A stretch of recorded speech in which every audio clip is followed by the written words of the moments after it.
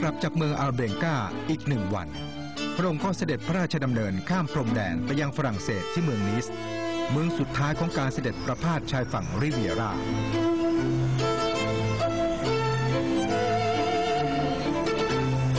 นิสเป็นเมืองใหญ่ มีประชากรหนาแน่นเป็นอันดับ5ของประเทศ พระองค์ทรงบันทึกไว้ในไกลบ้าน ฉบับวันที่ 10 พฤษภาคม พุทธศักราช 2450 ว่า เป็นเมืองที่พัฒนาตามแบบเมืองหลวงอย่างกรุงปารีสต่างกันที่มีขนาดเล็กกว่า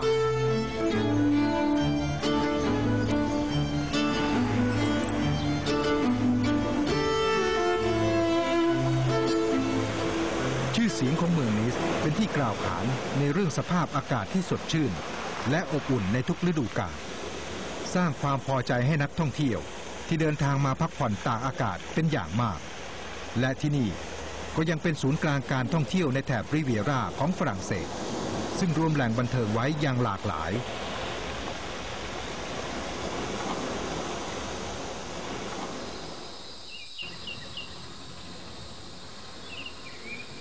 ตลอดสองสัปดาห์ของการเสด็จประพาสเมืองชายฝั่งริเวียรา แม้หลายเมืองจะมีชื่อเสียงด้านการท่องเที่ยว แต่การเสด็จไปทอดพระเนตรเมืองต่างๆ เหล่านี้ ดูจะมีความหมายที่ลึกซึ้งมากไปกว่าเพื่อความสำราญพระราชาฤทัยเพราะหากมองลึกลงไปก็จะพบว่า สถานที่หลายแห่งที่พระองค์เสด็จไปล้วนมีนัยยะสำคัญ ที่สะท้อนให้เห็นถึงสายพระเนตรอันกว้างไกลยิ่งนักทรงใช้เวลาในการที่จะสังเกตศึกษานะคะบันทึกเรื่องราวอันจะเป็นประโยชน์กับประเทศสยาม กับกิจการต่างๆ ของเมืองสยามเสมอ กิจการเกี่ยวกับเรื่องการเกษตร กิจการเกี่ยวกับเรื่องการชลประทาน การเพาะปลูกพืชพันธุ์นะคะพันธุ์กุหลาบพันธุ์โอลีฟหรือผลไม้ หรือมิติของการเพาะปลูกในเชิงพาณิชย์ ในเขตบริเวณริเวราของอิตาลี สิ่งเหล่านี้นี่ได้รับการบันทึกอย่างละเอียดไว้ในพระราชนิพนธ์ไกลบ้าน เนื่องจากเมืองแถบชายฝั่งริเวียรา มีสภาพภูมิศาสตร์ที่เหมาะสมต่อการเพาะปลูกเป็นอย่างยิ่ง ด้วยเหตุนี้ชาวอิตาเลียนในท้องถิ่นจึงประกอบอาชีพเพาะปลูกเป็นหลัก โดยเฉพาะพืชไม้ดอก สีสันดอกไม้นานาพันธุ์ที่บานสะพรั่งตลอดทั้งปี นับเป็นมนต์เสน่ห์อีกอย่างหนึ่งของริเวียราโดยเฉพาะเมืองซานเรโม ซึ่งได้รับการกล่าวขานว่า เป็นริเวียราแห่งดอกไม้ was many many years since uh, since uh, I think the uh, second half of the 18th century was uh, a place where uh, chosen to cultivate flowers because of course flowers need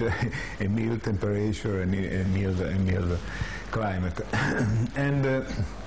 Besides, uh, in uh, this part of Riviera, they use uh, greenhouses. Um, I think I can't say that they invented the greenhouses, but I can say that uh, greenhouses are seen there uh, more than 150 years ago. so, for, for a long since.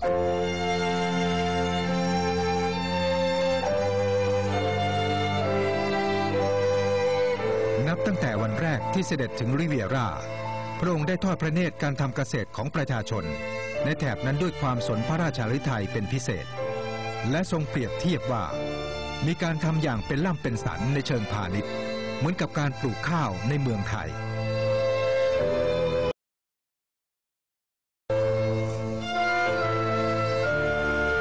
การปลูกต้นไม้ ปลูกไม้ดอกนี่เอง ไม่ใช่ปลูกเล่น เห็นจะเป็นทางทำมาหากินใหญ่ของชาวเมืองพวกแถบนี้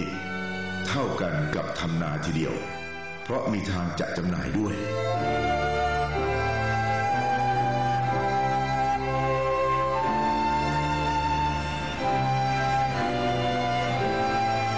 ในบรรดาดอกไม้นานาพันธุ์ดูเหมือนพระองค์จะทรงโปรดดอกกุหลาบเป็นพิเศษ ดังเห็นได้จากที่ทรงถ่ายภาพฝีพระหัตถ์ดอกกุหลาบในวิลล่าโนเบล และทรงบรรยายวิธีการเตรียมดิน และการขยายพันธุ์กุหลาบแบบต่างๆ ไว้อย่างละเอียด ในพระราชนิพนธ์ไกลบ้าน ฉบับวันที่ 13 พฤษภาคม 2450 ซึ่งเป็นวันสุดท้ายที่พระองค์จะประทับอยู่ที่เมืองซานเรโม ก่อนเสด็จต่อไปยังเมืองตูริน วันนั้นพระองค์เสด็จไปทอดพระเนตรสวนกุหลาบที่มีชื่อเสียงแห่งหนึ่ง และสวนกุหลาบแห่งนี้ก็มีความสำคัญอย่างยิ่งต่อการเสด็จไปครั้งนั้นานก็โปรด โดยเฉพาะอย่างยิ่งกุหลาบ ซึ่งท่านเห็นว่าเขาปลูกกันทั่วไปทั่วทุกขนแห่งหมด ตั้งแต่เหมือนกับตั้งแต่เรื่อยไปตั้งแต่ชายทะเลจดไปถึงยอดเขาทอดพระเนตรเห็นก็คงจะโปรด แล้วก็คงจะเสด็จไปที่ร้านดอกไม้ที่สวนกุหลาบของมิสเตอร์บรอยเออร์แล้วก็เมื่อทอดพระเนตรเห็นกุหลาบพันธุ์ใหม่ที่เขาผสมขึ้นแล้วจะขอพระราชทานชื่อ ก็โปรดให้ใช้ชื่อตามที่เขาขอมาว่า King of Siam ก็แน่นอนว่าในครั้งนั้นเนี่ยพระบาทสมเด็จพระจุลจอมเกล้าเจ้าอยู่หัว จะต้องทรงนำพันธุ์กุหลาบจากสวนมิสเตอร์บรอยเออร์ที่เขาผสมใหม่เนี่ยต้องนำพันธุ์นี้กลับเข้ามาในเมืองไทยแน่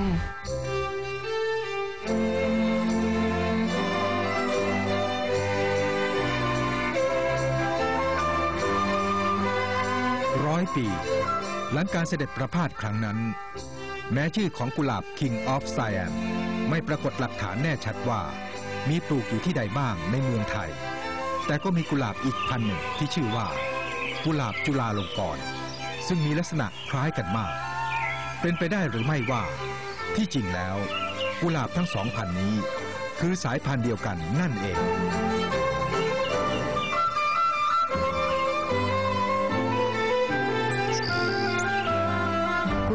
จุฬาลงกรณ์ที่เราเห็นในปัจจุบันนี้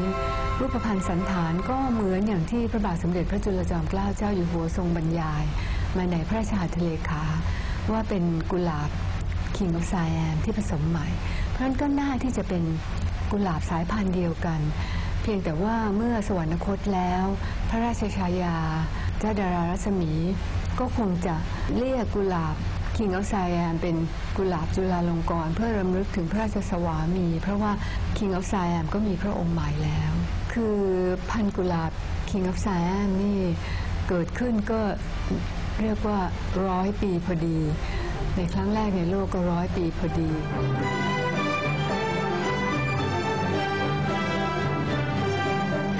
ร้อยปีแห่งการเสด็จประพาสเมืองชายฝั่งริเวียรา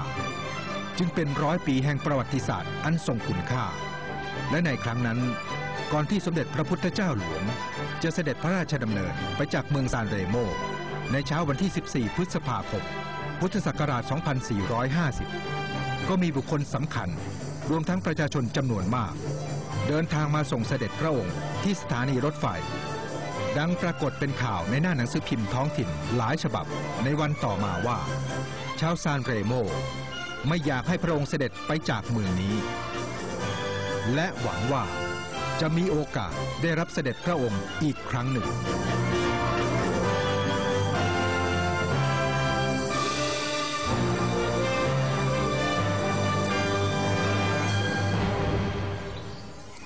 หลังจากที่สมเด็จพระพุทธเจ้าหลวงได้ประทับแรมอยู่ที่เมืองซานเรโมชายฝั่งริเวรา เป็นเวลาทั้งสิ้นถึง 16 วันนะครับท่านผู้ชมครับ พระองค์ก็ได้ประทับรถไฟพระที่นั่งเพื่อที่จะเสด็จพระราชดำเนินต่อไปยังเมืองตูริน เวนิส ฟลอเรนซ์ และมิลาน ซึ่งเมืองต่างๆ เหล่านี้ก็ล้วนแล้วแต่มีความน่าสนใจไม่แพ้กันเลยล่ะครับ พเล่าเรื่องกับเรื่องราวร้อยปีข้างหลังภาพ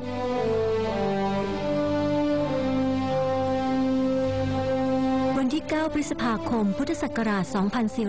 2450 ระหว่างทางที่สมเด็จพระพุทธเจ้าหลวง เสด็จประพาสเมืองอัลเบงกา ซึ่งเป็นบ้านของเยรินีหรือพระสารศาสตร์พลขันพระองค์ทรงบรรยายถึงเส้นทางเสด็จในวันนั้น ในพระราชนิพนธ์ไกลบ้านว่า การเดินทางอยู่ข้างขัดข้อง ด้วยเรื่องรถไฟผ่านทางมาก ถ้าติดที่ไหนก็ถือกล้องลงไปเที่ยวถ่ายรูป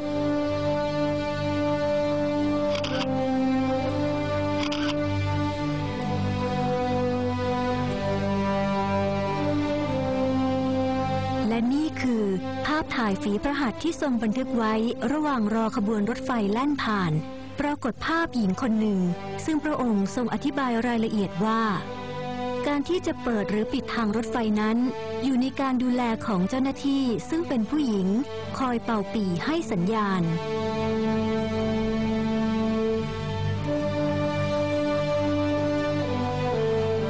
วันนั้นพระองค์ทรงแวะเสวยพระกระยาหารกลางวันระหว่างทางแบบปิกนิก บริเวณจุดชมวิวแหลมเมเล่ และร้อยปีผ่านมา บริเวณนี้ก็ยังเป็นจุดที่นักท่องเที่ยวสามารถแวะชมทัศนียภาพของฝั่งทะเลเมดิเตอร์เรเนียน ได้ไกลออกไปจนมองเห็นเกาะหนึ่ง ซึ่งมีรูปทรงกลม ดังที่พระองค์ทรงเล่าว่า มีเกาะกลมอยู่เกาะหนึ่ง ซึ่งแลเห็นแต่เมื่อแรกมาตามทางรถไฟ เรียกว่ากาลินาเรีย